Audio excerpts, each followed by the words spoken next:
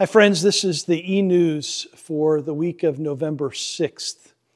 Uh, November 6th, of course, today that you are receiving this is a Wednesday, the day after Election Day in our country. And all transparency, we're recording this before the election, so we have no idea. I have no idea uh, how it went or who won, um, all those kinds of things. So I just want to be transparent with you. I will tell you that this past Sunday we had a wonderful worship. We celebrated God's gift of the saints, and we had 12 people, uh, members of this church family, who died this past year. What I really appreciate is in the scripture when the apostle writes about those who have died in Christ, he uses the term they fell asleep.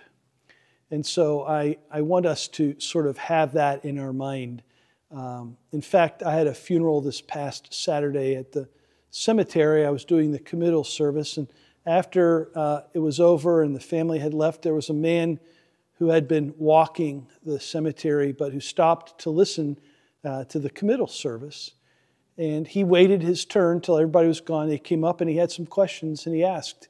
He said, I have questions about the mystery of death. He said, um, I appreciated what you said and I believe what you said, but I still have more questions. Where is the person who dies? Because the resurrection doesn't happen until Jesus returns. And I thought it was a great question. And this is my humble take on that. It's a theological uh, difficulty for a lot of people. But I used Paul's term, fall asleep. I said, I like that because it means, uh, for me, that the person who dies in Christ is asleep. The, some people call it soul sleep, some people call it soul rest. We can say that the scripture affirms that when, it's, when we are absent from the body, we are present with the Lord. And Jesus even says to the thief on the cross, Today you will be with me in paradise. But it seems that the resurrection uh, happens when Christ returns. So we're not resurrected individually, that there's a, there is a resurrection of the dead when Christ returns.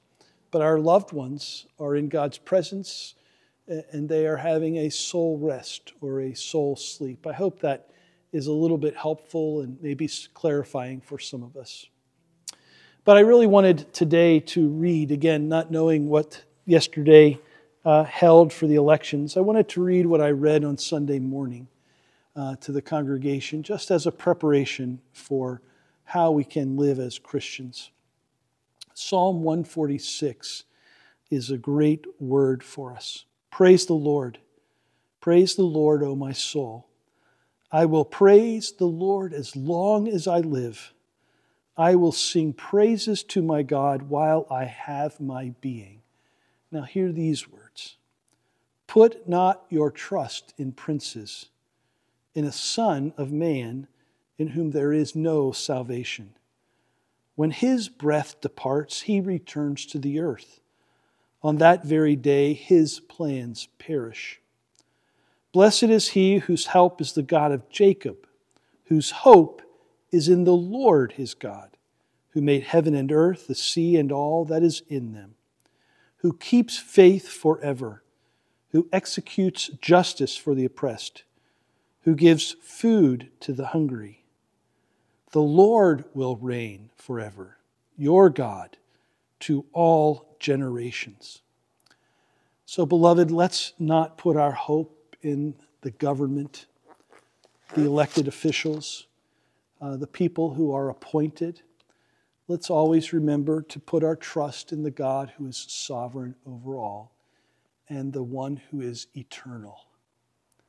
Not a president for a term, not a senator for a term, uh, not in any uh, human being, because when they die, their dreams perish with them. But God's faith is forever. The other thing I encouraged folks with on Sunday that I want to remind us again are the teachings of Jesus in the Sermon on the Mount. Blessed are the poor in spirit, for theirs is the kingdom of heaven. Oh, how important it is not to be haughty or proud or angry in spirit, but poor in spirit, meaning dependent upon God. Because then we know that the kingdom of heaven is ours. Blessed are the meek, for they shall inherit the earth. Someone who's meek is not weak. Someone who's meek is the one who trusts God no matter what the situation, no matter what the circumstance. One who does not have to have their own way. One do, who does not have to always be in the right or on the right side. Blessed are the merciful, for they shall receive mercy. Blessed are the pure in heart, for they shall see God. Blessed are the peacemakers.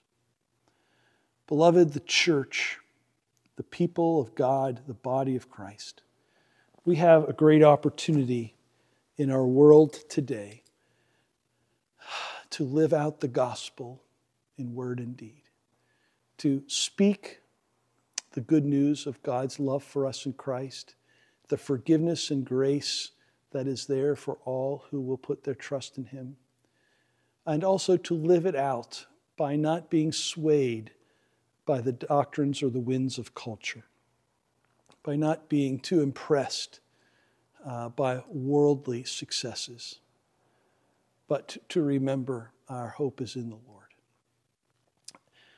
I am here and would love to talk with anybody who's struggling with these things. I am happy to listen and to share um, how I try to maintain my sanity uh, in the chaos. I would encourage you, if you uh, are available on Wednesday nights, to join us for Bible study on Zoom. Uh, reach out and we can send you a link. But we are in the book of Genesis. We're talking about God's order, in other words, God's creation, because God has ordered things to make sense for His glory and for our well being. So it's good to go and revisit how did God create and set the world to work? Uh, so let me invite you to that. Other Bible studies and small groups, I'm sure, would be just as helpful. We are here. We look forward to seeing you on Sundays always. Reach out, give us a call if we can be of any help. We love you. Take care. God bless. Have a great day.